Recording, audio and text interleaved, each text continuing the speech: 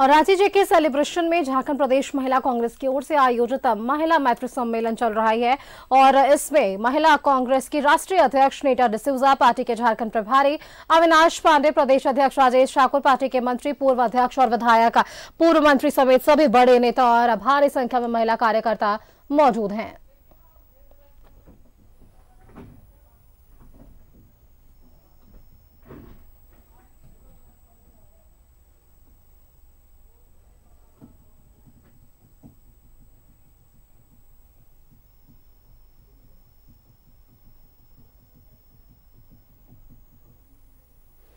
तो देखिए, आज महिला मैत्री सम्मेलन का यह आयोजन हो रहा है। कांग्रेस की राष्ट्रीय महिला अध्यक्ष नेटा डिसूजा इसमें मौजूद हैं और साथ ही साथ कांग्रेस के प्रदेश प्रभारी अविनाश पांडे भी रांची पहुँचे हैं और इस सम्मेलन में उन्होंने शिरकत किया है।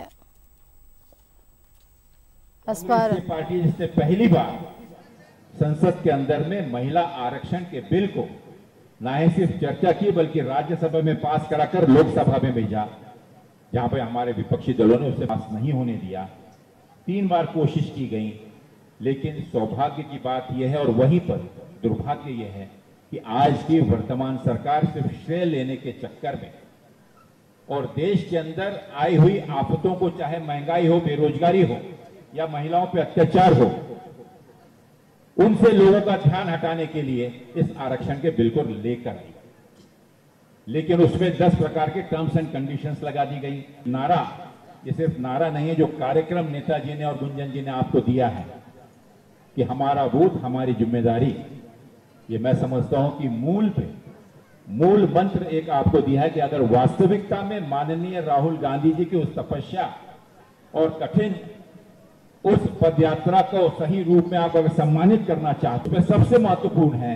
जो प्रदेश कांग्रेस कमेटी के माध्यम से हम लोग करने जा रहे हैं, जिसमें आपका योगदान लगेगा जो मतदाता सूची है, उसका अध्ययन कर कर उसमें अपने जो साथी हैं।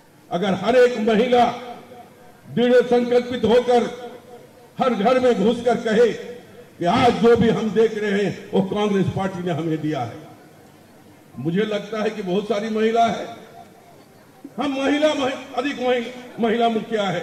हम उन लोगों के खाता में पंद्रह हज़ार पार मंथ हर महीना देने की काम किया है, ताकि महिला उस पंचायत भवन को बढ़िया तरीका से साफ़ सफ़ाई, पानी देने की काम करेंगे और छोटी छोटी कामों का उसको जो भी ज़रूरत पड़े, उसको भी हम देने की काम किया यहाँ जितना महिला हम देख रहे हैं, उसमें हमको लगता है कम से कम फोर्टी परसेंट महिला ऐसा है।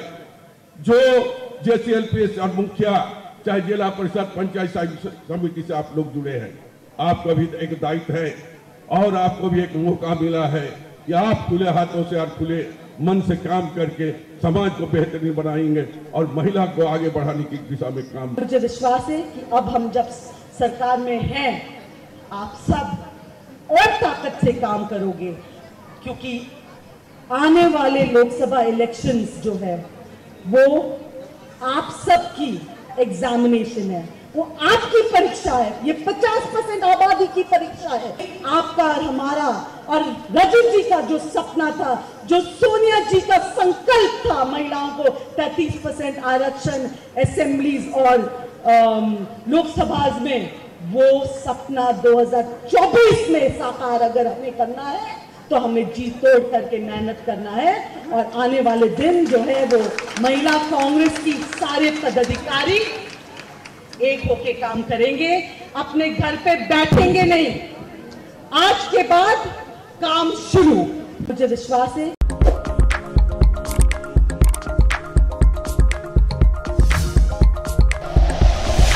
Like and share videos, subscribe करें हमारा चैनल और प्रेस करें बेल आइकॉन न्यूज़ 11 भारत। सच है तो दिखेगा।